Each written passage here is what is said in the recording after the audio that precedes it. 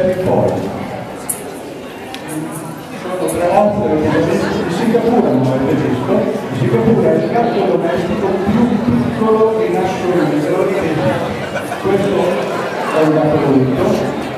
non grande di lui, ha una particolarità, attenzione, chiudete la porta, chiudete la porta, preso, preso, apri, apri, apri pure più che altro perché il gatto con la condivisione tende a smarrirsi come si allontana dal proprietario non sa più come reagire allora vi dicevo in scrittura ho detto quando dico che il colore di gatto la parola vedete quando sceglie di un gatto che ha il mantello insegnato la particolarità del Singapore che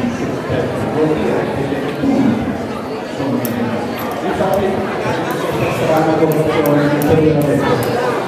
Allora, signori giudici, pronti? All'unanimità, l'86, il 9 carino